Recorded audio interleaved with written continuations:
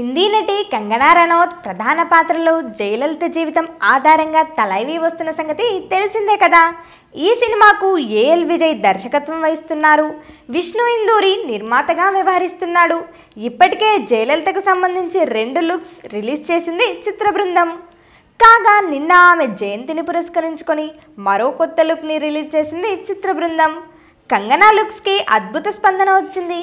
ఇక ఈ చిత్రంలో కంగనా జయలలితగా నటిస్తుంటే ఎంజీఆర్ పాత్రలో అరవింద్ స్వామి శోభన్ బాబు పాత్రలో జిషు సేన్ గుప్తా నటిస్తున్నారు.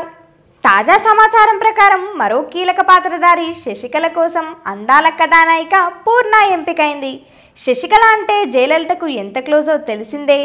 జయలలిత జీవితంలో చాలా ఇంపార్టెంట్ పాత్ర అది.